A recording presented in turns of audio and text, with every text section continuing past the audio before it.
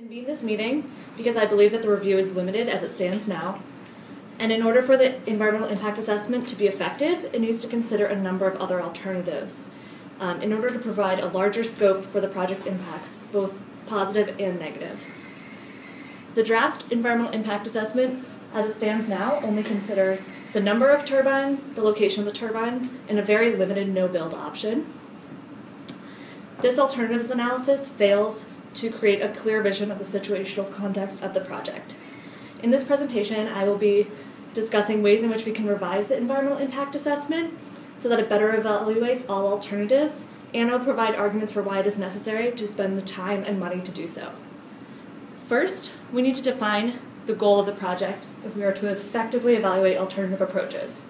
Alternatives analysis should paint a picture of the multitude of options um, available to reach this goal. So I believe that the goal of the project is to provide energy for the growing electricity demand in the region. Um, and studies have shown that new energy facilities will need to be built um, within the next 15 years to meet this growing demand. Um, so we should use this goal to frame the project um, evaluation. Um, and setting a clear goal at the beginning um, helps to consider better alternatives. And it will, it's necessary to take a step back and to see the project and its impacts in, in the larger context.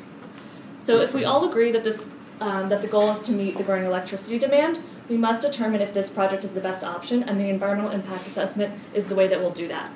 So to, to, um, to do this, we need to make three major revisions to the environmental impact assessment. One, we need to consider alternative forms of energy production and their environmental, economic, and social impacts um, if this plant is not to be built. So if we, if we do not build offshore wind, will we build wind um, farms on land, and what will the land use impacts of that be? Will we need to build a natural gas plant to meet demand, or is like is solar an option? So we need to really consider the greater alternatives. Um, will be difficult to do a full environmental impact assessment of all of these theoretical alternatives. We can pick a few items to focus on, for instance, carbon emissions or land use. Second, we need to consider um, the impacts of wildlife and coastal communities um, based on cumulative impacts if this project isn't built and other um, clean energy projects are not built and we're not meeting our greenhouse gas emission targets. Third, um, if, if this project is um, perhaps the best way to meet our energy needs, then we need to consider alternative ways to mitigate the impacts from this project on wildlife and navigation. So mitigation efforts could include um, moving the wind farm further offshore, or presenting, uh, providing better long-term monitoring. So um, including all of these alternatives in a more comprehensive alternatives analysis will lead to two major benefits.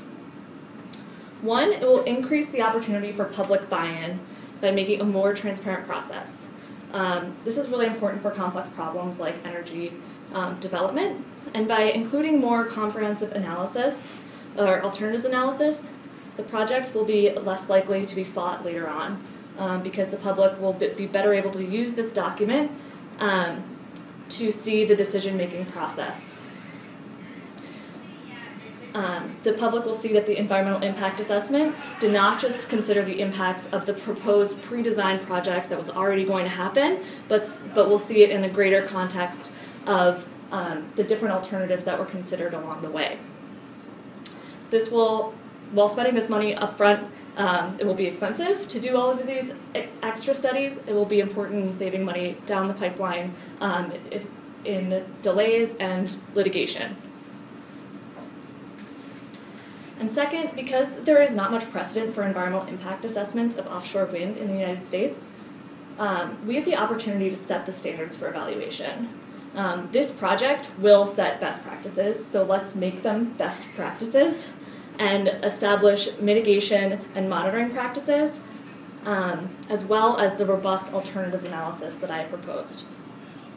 Again, we should, um, we should be sure to engage the public around this alternatives analysis during the review of this draft, uh, the comments on this draft environmental impact assessment, um, so that there's public buy-in and support of the project and, and that the public understands what alternative options would look like.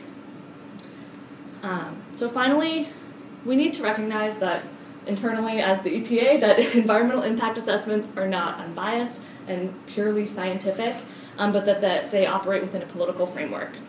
So, because of this, and um, because of our recent decision to limit greenhouse gas emissions in power plants, we need to create a better framework for analyzing alternative energy projects um, and present um, a better framework for analyzing all of those impacts and risks.